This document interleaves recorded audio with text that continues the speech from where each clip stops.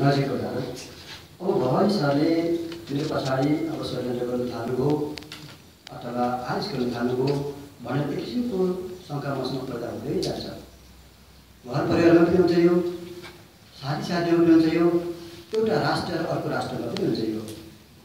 कुरा एउटै हो शङ्काबाट उत्पन्न भएको भएर।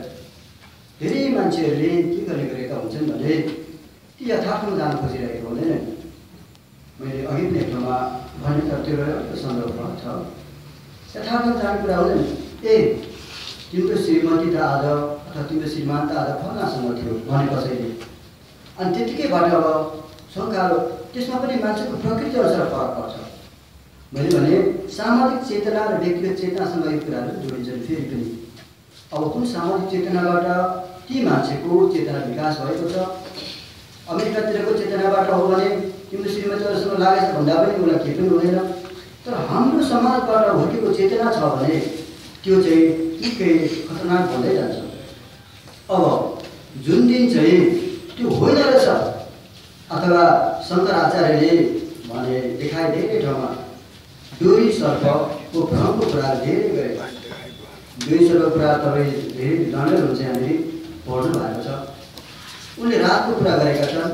रातमा चाहिँ डोरीलाई सर्प जस्तो देख्यो भने अनि भ्रम भयो भनेर भन्यो अनि मैले ती कुराहरू फेरि यतापट्टि हेरेँ सर्प जस्तो देख्दाखेरि अब देख्यो जस्तो देख्यो भन्ने कुराहरूले किसिमको शङ्काको वातावरण सिर्जना गर्छ अब उता पवर एउटा कसरी डोरी तानिदियो अनि हामी सर्प जस्तो लाग्यो भने हामीलाई डर लाग्न लाग्छ सर्प होइन रहेछ भन्यो भने हामीलाई डर लाग्न पाउँछ तर जब त्यो डोरी अथवा सर्प जे छ त्यसको छेउमा पुगेर देख्छौँ हामी यथार्थमा सत्यमा पुग्छौँ अनि त्यो डोरी बेकारमा डालेको भन्ने कुरा यो अर्थको कुराहरू हो भने यसरी निवारण हुन्छ संसारमा उत्पन्न भएका भयहरूलाई यसरी निवारण हुन्छ तर अर्को स्टेपमा गएर फेरि पनि अर्कै किसिमको भयहरू पुरा भएर हेराएको हुन्छ एउटा बाटोमा हिँड्यो गाडी कुचिन्छ कि भनेर चाहिँ सङ्घर्षले हिँड्यो त्यो बाटो पार गयो त्यो भय त्यहाँको लागि समाप्त भयो फेरि अर्को बाटो आउँछ फेरि अर्को बाटो आउँछ जिन्दगीभरि यस्ता बाटोहरू आउँछन् जान्छन् भय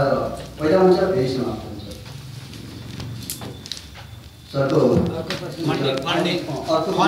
तपाईँ विश्व भ्रमण। तपाईँ विश्व भ्रमण गर्नुहुन्छ। यसको फन्डिङ कसले गर्छ कि कुनै एनजिओ यसको पछाडि छ? हजुर यो म जाँदै थिएँ। अगाडि मलाई के कसो भयो कि हुँदैन। नि। अरे होइन भयो म सामान्य चौकीदार तर म नेपाल भारत चौकीदारमा अलिक धेरै कमाउँछु वास्तवमा तर म धेरै दुःख पनि गर्छु। दुःखको प्रक्रियाहरू फरक छन्। मैले हेरेँ मासपालमा पनि श्रमको मूल्य भन्यो। श्रम गऱ्यो। म नेपालको मा पाहाडको मान्छेहरूलाई पनि फेरि पनि हेरेँ। विचाराहरू अब यहाँको त मलाई भन्दिनँ थाहा छैन यहाँको मलाई। यहाँ चाहिँ चार बजी उठ्छन् अनि काम गर्छन् खेतमा काम गर्छन् बारीमा काम गर्छन्। यहाँ कति गरेर आउनुभयो होला। तर त्यो श्रमको मूल्य पाइरहेको हुँदैन। जुन ढङ्गले उनले श्रम गर्छ त्यो ढङ्गले पाइरहेको हुँदैन। किनभने श्रम गर्दाखेरि पनि उब्जनेर त्यसको प्रतिफल आउने ठाउँमा श्रम गर्दाखेरि अलिक राम्रो खालके त्यसको मूल्य पाइन्छ। अलिक कम ठाउँमा कम छ जग्गाहरूमा गएर खेतीपाती गर्दा पनि त्यही हो। बराबरै श्रम गऱ्यो हामीले कुनै उर्वर हुने जमिनमा रुखको जमिनमा श्रम गऱ्यो। श्रमको हाम्रो पसिना बराबर बगेको छ सय लिटर बगेको छ। तर त्यो प्लेस स्थान फरक भएको कारणले फरक हुन्छ नि। मैले के गर्ने गरेको छु केही समयदेखि भने म हिँड्न थालेको त धेरै भएको छैन करिब पाँच छ सात महिना भयो हो। र हिँड्ने पनि एउटा सु अवसर प्राप्त हुनु पर्दो रहेछ। मभन्दा धेरै धेरै कमाउने मान्छेहरू पनि छ त्यहाँनिर। तर उनीहरूलाई त्यो सु अवसर प्राप्त भएको छैन कि चेतना खोलेको छैन ती फरक कुरा हो अथवा उनीहरूले कमाएर थुपाउनुपर्छ भन्नेतिरदेखि कि त्यो एउटा बाटो हो। तर मैले कमा कमाएर थुपाउनुपर्छ भन्दा अलिकति कमाएर हिँड्नुपर्छ कि भन्नेतिर चाहिँ म लागिरहेको छ अहिले।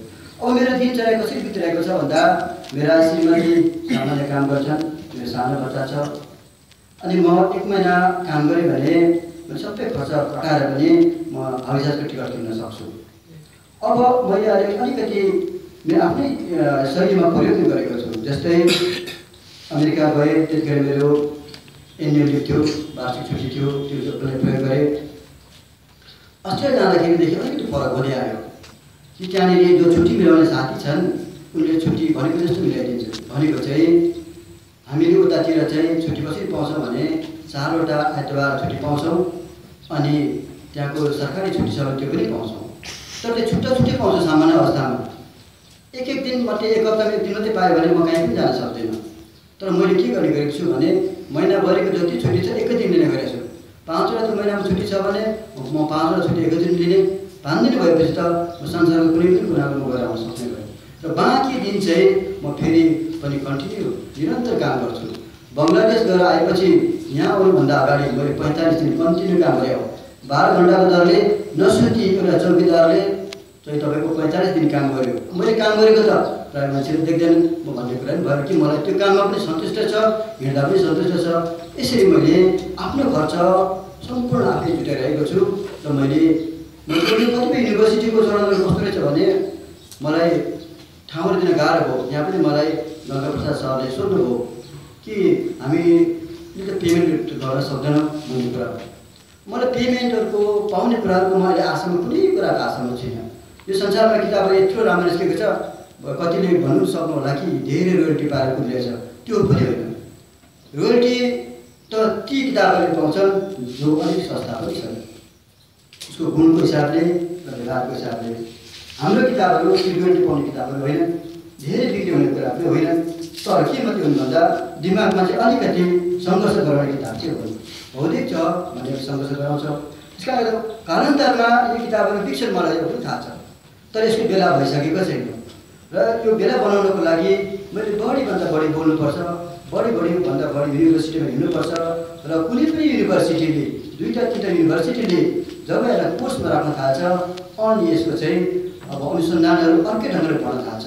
म त्यही कोसिसको सिलसिलामा मात्र हिँडिरहेको छु। र यसरी मैले आफ्नो दैनिकी खर्चहरू हिँड्ने खर्चहरू आफैले उठाउनु परिरहेको छ। तर अहिलेको जुन मेरो यात्राको दौरानमा मैले उत्तर भारतमा जाँदाखेरि एक रात मात्रै मैले होटलमा बस्नु पऱ्यो एक रात चाहिँ म होटलमा बसेँ हरिद्वारमा। बाँकी रहेको सबै ठाउँहरूमा तपाईँ जस्तै प्रिय आत्मीयहरूले सहयोग गर्नुभयो र म चाहिँ खर्च कमै गरेर हिँडेको छु। तर म हिँड्दाखेरि खर्च बोकेरै हिँड्छु कि कसैको आशामा सक्दो हिँडिरहेको हुँदैन। अब बाटो हिँडिन्छ बाटोमा तपाईँको अभर पऱ्यो भने कुनै पनि कार्यक्रम हुन धेरै कार्यक्रम छन् मेरो यात्रामा। त्यसैले रावलजी आउनुहुन्छ। रावलजीसँग बारम्बार भनेको छु भोलिको टिकट चाहिँ गरिदिनुहोस् भनेर बारम्बार भनेको छु। किनभने भोलिको टिकट मैले दसै हजार पर्सेन्ट मैले काट्नुपर्छ। किनभने पर्सिदेखि मेरो थुप्रै लाइनका प्रोग्रामहरू छन्। ती सबै तयारी गरेर हिँडेको छु मेरो खर्च बेसी चलेको छ धन्यवाद